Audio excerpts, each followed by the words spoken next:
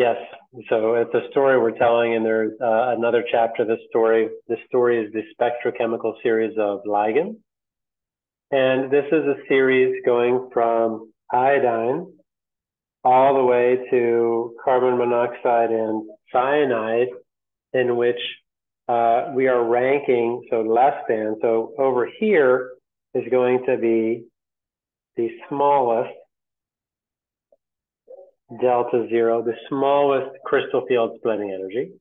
And over here is going to be the largest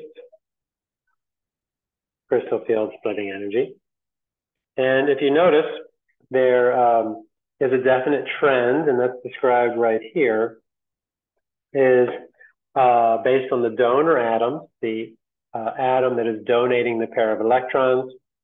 You can see for the largest ones, we've got carbon donating a pair of electrons.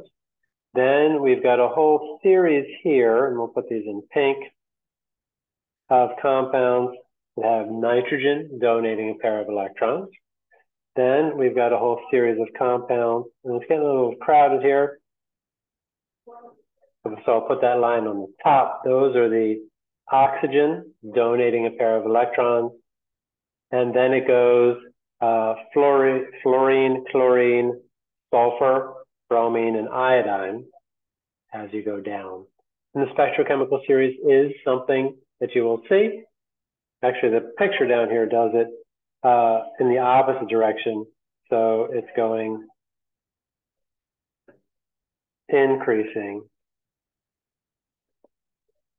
delta naught. Uh, but what you can see is carbon will have the largest uh, crystal field splitting energies. Now, um, how does this impact anything, especially transition metal complexes? Well, let's do something where we compare something with fluorine, which is lower on the spectrochemical series. And uh, what was the other one? Uh, cyanide, something that is the strongest or one of the strongest, tied for strongest. Okay, so uh, we're going to compare these two transition metal complexes. And you can see, let's see, so this has got F minus in it, and this has got cyanide minus. Each of those has six ligands. So each of those is going to have cobalt 3 plus. And we've worked with cobalt 3 plus before, way back here, I believe, and we saw that the electron configuration for cobalt 3 plus was argon 3d6.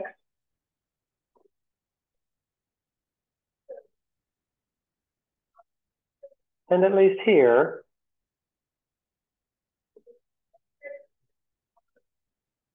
we've got the same transition metal. And uh, now let's go ahead and think about, well, we've got octahedral. And what I'm going to do here is I'm going to be careful, and I'm actually going to draw the fact that delta zero, the crystal field splitting energy, is much larger for the cyanide ion. That's what the spectrochemical series tells us. So cyanide has the largest crystal field splitting energy. Fluoride has amongst the smallest, although not the smallest. And what we're going to see here is that um, you're going to have what's going to be called F minus uh, is going to lead to high spin complexes.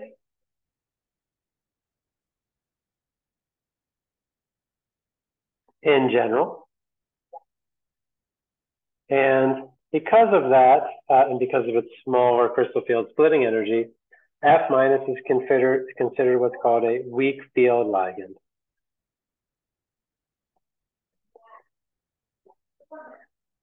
And weak field ligands typically lead to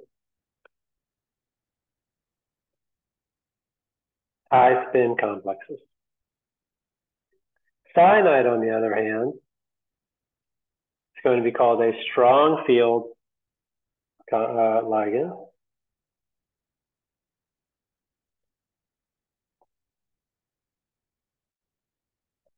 and leads to low spin complexes. And just to bring it full circle or a little bit more for full circle, crystal field splitting energy is going to be larger than the pairing energy here.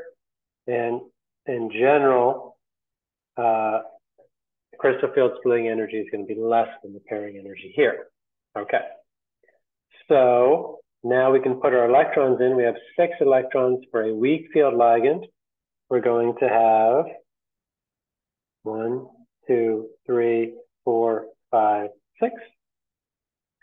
And here we're going to have one, two, three, four, five, six. That's how you have, let's see, so uh, when you have a strong field ligand, you get low spin complexes. And in this case, we'd end up with a diamagnetic species. And over here, we end up with paramagnetic. Like so.